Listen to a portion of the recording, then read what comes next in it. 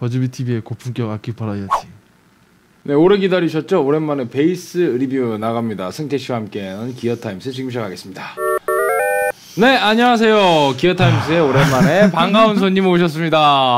자, 이게 반가운 손님이라고 모실 만한 게 아, 그게 아니고 저희 항상 같이 베이스 리뷰에 정기적으로 참여하셨던 승채 군인데 저희가 베이스 리뷰를 엄청나게 오랜만에 진행을 하다 보니까 진짜 어떤 게스트만큼이나 오랜만에 보는 것 같은 그런 네. 반가움으로 진짜 그죠? 스튜디오 오랜만에 찾아주셨는데 네. 하여튼 반갑습니다. 그동안. 잘 지내셨습니까? 그럼요. 네, 어차피 우리는 비정규직이지만 그 중에서도 비정규직 of 비정규직이 이제 베이스 네. 파트죠. 그죠? 네, 요새는 또 저희 Buzzbee TV 시청해주신 여러분들도 베이스 리뷰를 또 워낙 많이 요청을 하시고 그동안 저희가 베이스가 또 이제 오랫동안 좀 쉬면서 데이터베이스 구축에 또 아무래도 옛날 거에서 이제 좀 늘지가 않다 보니까 이제 또 다시 계속해서 승채 씨의 도움이 또 앞으로도 계속 필요하게 될 것 같습니다. 네. 또 힘을 보태 주시고요. 감사합니다. 네, 어쨌든 기다려 주셨던 베이스 유저 여러분들 드디어 오- 오랜만에 베이스 리뷰 전해 드리도록 하겠습니다. 오늘 전해 드릴 리뷰는요, 베이스 악기 리뷰 아니고요, 앰프 리뷰입니다. 네. 그래서 Ampeg의 베이스 앰프, Ampeg의 BA108 리뷰를 해드릴 거고요. 108 하고 난 다음에 110 리뷰도 해드릴 건데 두 개 뭐 거의 차이 없으니까요. 와트수하고 사운드 질감만 비교하시는 식으로 들어보시면 될 것 같습니다. 네. Ampeg은 예전에 Today's Gear 시절 때 저희가 한번 마음 먹고 한 다섯 여섯 개 좀 한 번에 확 돌린 적이 있거든요. 그때 BA 모델도 했었고요. BA 모델 말고 이제 SVT 있죠. 네. SVT의 그 비싼 고가 모델들 음. 그걸 한번 쫙 돌린 적이 있었는데 암팩이 진짜 좋긴 좋죠. 베이스 그죠? 치시는 네. 분들이라면은 뭐 호불호가 베이스 앰프들은 호불호가 안 갈리는 모델들이 보통 없는 것 같은데 어, 암팩 같은 경우에는 분명히 뭐 싫어하시는 분들 당연히 계시겠지만 그래도 선호도가 가장 높은 브랜드 중에 하나가 아닐까라는 생각이 듭니다. 그죠. 앰프에서는 암팩, 베이스, 음. 이펙터에서는 EBS가 이 정도가 아닐까 싶은데 어떻게 생각하십니까? 그죠? 네. 네. 그렇죠? 비슷합니다. 네, 꽤 Ampeg, 많이- Ampeg이야 뭐 그렇죠. 베이스 치는 분이라면 그렇죠. 무조건 다 예. 거쳐갔을 앰프니까. 네, 영향력이 그만큼 네. 굉장히 큰 베이시스트들에겐 굉장히 큰 브랜드라고 할 수 있겠죠. 그 중에 이제 BA 시리즈는 어 앰프 헤드와 캐비넷이 나뉘어져 있는 게 아니고요. 한 방에 이제 all-in-one으로 들어가 있는 enclosed 형식으로 제작이 되어 있습니다. 그리고 BA108에는요 뒤쪽에 tilt-back이 처리가 되어 있지 않고요. 110에는 tilt-back 처리가 되어 있고 좀더 크기가 크다는 점 그 점에서 좀 어, 집중을 해서 보시면 될 것 같고요. 자 그러면 한번 간단하게 설명드리겠습니다. Ampeg의 베이스 앰프 108은요, B108은 25와트의 출력을 가지고 있고요. 그 다음에 이 콤보 앰프는 knob 구성이 굉장히 단순해서 좋죠. 메인 볼륨하고 3밴드 이퀄라이저만 있습니다. 그다음에 예, 여기 CD 레벨 여기다 이제 꽂고 나서야 이제 먹는 거죠. CD 레벨은 네. 그리고 헤드폰 단자 있고요. 그러니까 뭐 정말 어떤 그 SVT 모델에서 볼 수 있는 그 다양한 여러 가지 기능들을 싹 빼고 거품을 싹 빼고 Ampeg의 본연의 사운드만 남겼다고 할 수가 있겠습니다. 네, 그래서 8인치 스피커 한 방 들어가 있고요. 거기서 25와트의 출력, 충분한 출력을 뽑아내고 있습니다. 그다음에 이제 뒤쪽에 보면요 외부 effector를 연결할 수 있는 send return 단자 지원 가능하고요. 녹음에도 사용할 수 있게 line out 됩니다. 근데 line out은 그건 안 되고요. 캐논은 안 되고요. 네, 네. 55잭만으로 어, 어, 가능하게 되어 있습니다. 어, tilt-back 시스템은 적용이 되어 있지 않고요. 네. 이렇게 하고 균형을 잡으실 수 있다면 뭐 그렇게 뭐 자가 tilt-back을 네, 무리수네요. 네 무리수였죠. 죄송합니다. 아, 승채 씨가 오랜만에 나오셔도 날카로움을 잃지 않으셨군요. 대충 어떻게든 우쭈쭈해서 데려갈 수 있을 줄 알았더니 이 사람이 이거 안 되겠네. 네. 어, 일단 3밴드 이퀄라이저 전부 다 중립으로 맞춰놓은 상태고요. 아, 지금 시연해볼 악기는 예, Squier의, 네, 그쵸, 음, 재즈 네. 재즈 스타일의 픽업을 사용을 해서 어, 지금 passive 악기로 네. 모니터를 해보겠습니다. 여기 active 악기도 꽂을 수 있어요. 마이너스 15데시벨. 네, 있어요. 네. 네. input은 두 개고요. 그렇습니다. 한번 해보, 연주해 볼게요.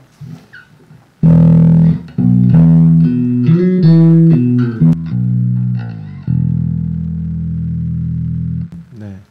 뭐 또 다른 픽업 소리.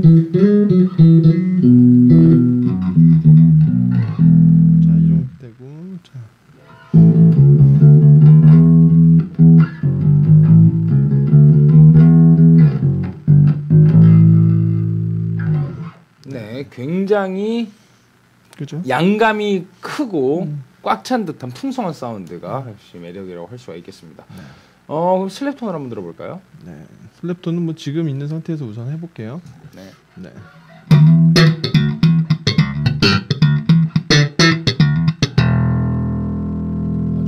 넘치네요. 네. 그러면은 지금 이게 암팩만 사실 사운드를 들어봐가지고는 조금 비교하기가 힘드실 수도 있을 것 같으니까 네. 우리 라인으로 뽑는 소리 있죠? 네. 라인으로 뽑는 소리 한번 들려드릴까요? 라인이요? 네, 이- 이쪽 라인으로 뽑는 소리 있죠? 네. 마이크요? 네, 앰프를 사용해서 잠깐 한번 해볼까요? 해보겠습니다.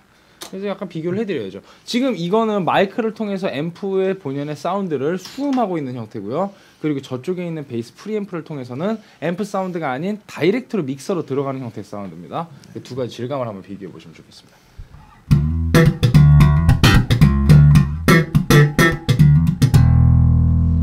그렇습니다. fingering 사운드는요. 그리고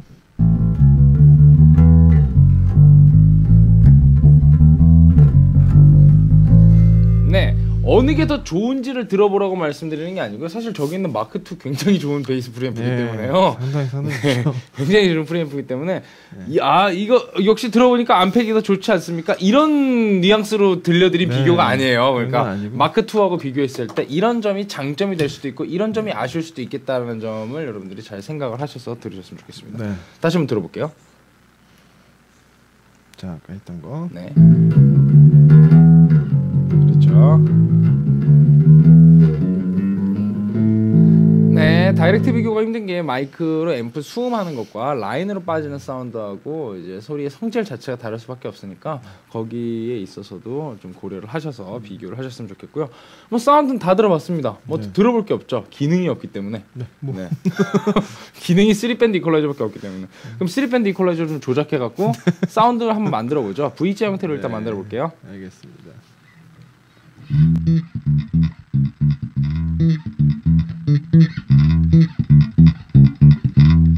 됐고요. 그럼 이번엔 약간 좀 뚱뚱한 베이스를 만들어 볼까요? 이렇게 해 보겠습니다. 옛날 베이스 소리죠.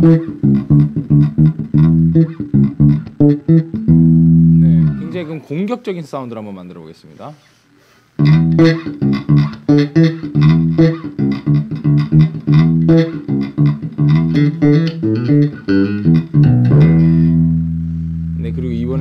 밑단만 남은 사운드.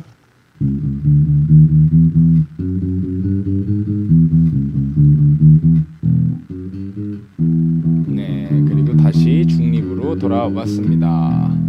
네, 3밴드 이퀄라이저 굉장히 잘 먹으니까 여기 있는 3밴드 EQ를 조절하시는 것만으로도 상당히 자신이 원하는 톤에 접근하는 데에는 충분히 활용할 수 있을 것 같네요.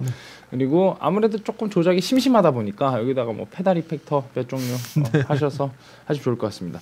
가격대는요, 가격대는 그다지 비싸지 않습니다. 접근하기가 부담이 없죠. 20만 원대 중반.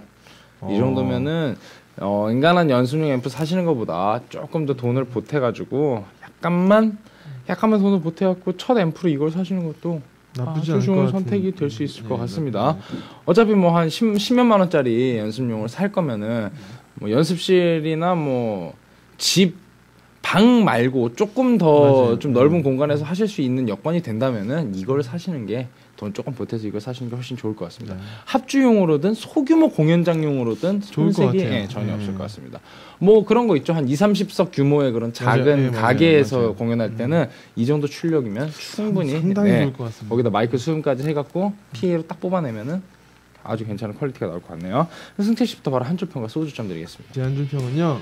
음, 그냥 Ampeg의 맛을 느낄 수 있는 네, 그 시작점, 네, 음그 그렇군요. 시작점일 것 같아요. 네. 그리고 음, 되게 단촐하지만 그래도 그 본연의 소리를 좀 나름대로 좀 있는 것 같아요. 그래서 네, 아깝지 않은 것 같은 생각이 듭니다. 네 알겠습니다. 추천 적극 추천 말고 추천 정도? 네. 그 정도요. 제 바공기는요. 2.50. 진짜? 네. 음, 오랜만에 나와서 사람이 좀 박해졌네요. 네. 2.50기. 네, 알겠습니다. 가격을 따라갔군요. 25만 원에 두 공기 팝니다. 네, 알겠습니다. 근데 저 같은 경우에는 오히려 그거보다는 훨씬 더 괜찮다는 생각이 드는 게요. 어, 가격대를 일단 봤을 때 가성비가 굉장히 좋고 거품을 쫙 600에 형성이 되어 있다는 생각이 듭니다.